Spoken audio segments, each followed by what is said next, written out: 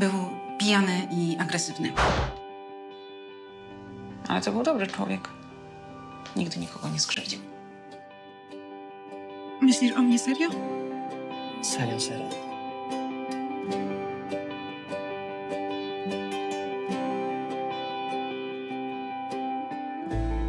Co, już zapomniałeś jak było, jak skomlałeś pod moimi drzwiami?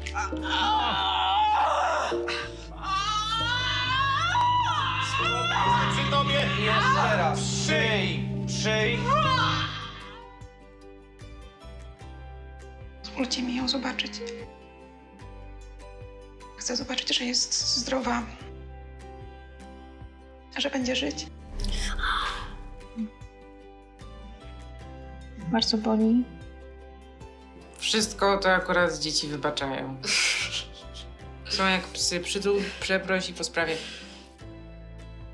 Kochanie, pójdziemy do Mateuszka, tam poczekasz, dobrze?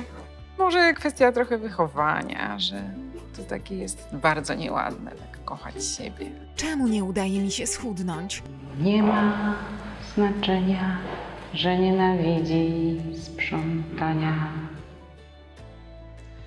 Mąż próbował zrobić ze mnie kucharkę. Ty nie umiesz gotować.